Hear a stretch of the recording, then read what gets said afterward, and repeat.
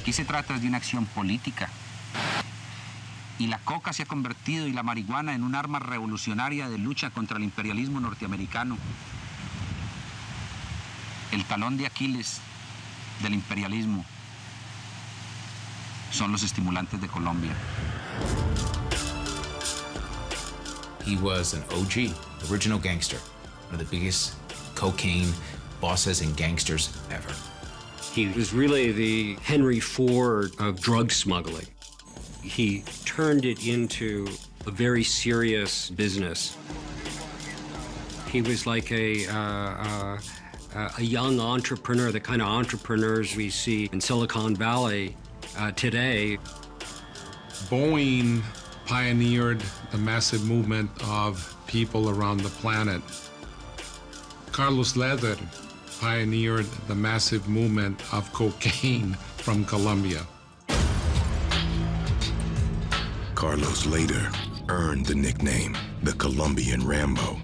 He was hiding out in the jungles of South America, excommunicated from his partners, cut off from the world, and vowing a fight to the end. Indicted three separate times on a litany of narcotics and conspiracy charges. U.S. authorities say at the height of his reign, he brought in more than 18 million tons of cocaine in 24 months.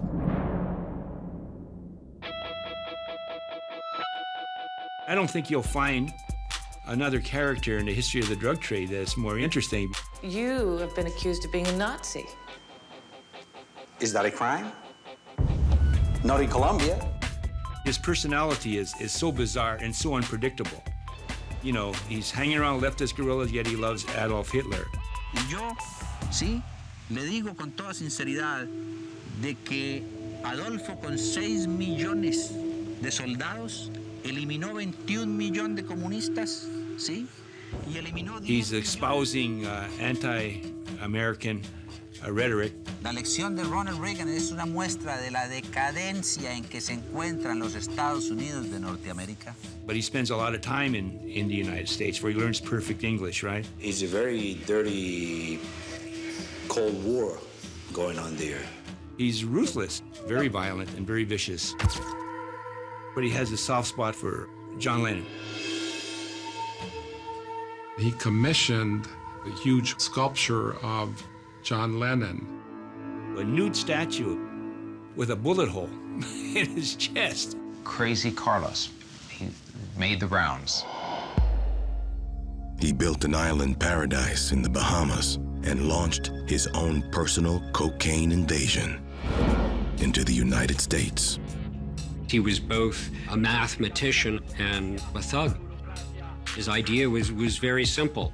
Buy a, uh, an island in the Bahamas and bring a cargo plane in uh, full of a mass quantity of cocaine, break it up into smaller parcels, and fly it into the United States in whole mess of planes all at one time. You know, 15 planes taking off within a 25 minute period.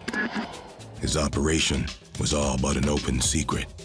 Crazy Carlos paid for the island and for what he believed was security against the U.S. Drug Enforcement Administration. The Bahamian government would notify them if DEA was looking at Norman's Cay, and they would have lead time to evacuate and destroy any and all evidence there. Carlos started to take part in some of his own product, and that became a, a bit of a problem. And he also was far too uh, uh, open about what he was doing.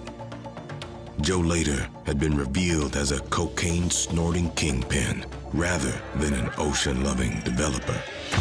The Bahamian authorities didn't want any legal issues themselves. So they told him he's got to leave the island. I think between that and the, and the pressure now on the Medellin drug cartel, um, I think Carlos's partners closed up Norman's. Authorities dismantled the five-year-old operation. Lehder's house was found burned to the ground. He escaped before the raid. Crazy Carlos would turn up in Colombia, but his homeland was not the sanctuary he had hoped. In the early morning hours of February 4th, 1987, Colombian National Police raided a farm just outside of Medellin. Fifteen men were captured. Crazy Carlos was among them. Charged with delivering 3.2 tons of cocaine into the U.S. in just a two-year period, an estimated 80% of all the cocaine brought into the States during that time. Carlos Lehder was found guilty and sentenced to life without the possibility of parole, plus 135 years for good measure. When they add the plus 135 years, they really want to make sure there isn't a chance at all that you could ever get out. Comma, unless you're Carlos Lehder. Things change from a few years later. Two years into Lehder's sentence, the U.S. invaded Panama to take down a dictator. Manuel Noriega was a close ally of the United States. And in terms of Panama, the only thing the United States ever cared about was the security of the Panama Canal. By 1988, the United States began to view him as a, as a liability. So all of a sudden, they switched course, and uh, Noriega became this real boogeyman. Carlos Lehder knew Noriega. Everybody in the DEA who worked the case, everybody in the U.S. government who thought that it was important to get him extradited uh, from Colombia here must have just absolutely grabbed their head and wanted to rip their hair out when Carlos raised his hand in jail and said, Oh, Manuel Noriega? I can testify against him. I've got some good stories, as a matter of fact. Noriega had been on the U.S. government payroll for decades, but the dictator had overstepped his bounds when he began harboring drug dealers. Carlos Lehder once public enemy number one, became a pawn in a bigger game. He testified against Noriega. They cut his sentence down to 55 years, which is stunning for what he did the trail of bodies, the amount of drugs, and everything else. And then three years after that, they come in at night once to Carlos's jail and they take him out. According to prisoners who were there, federal authorities came in and just whisked him away. And that's the last we heard of Lehder. He's in some part of the witness protection program inside the Bureau of Prisons. If they in fact did put him in witness protection, uh, we wouldn't know.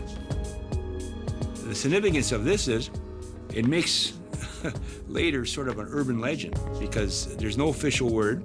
The U.S. government won't say where he is. So he's a complete mystery and he's still a legend. There are rumors that he's out of the system, but I know this Carlos caught a hell of a break.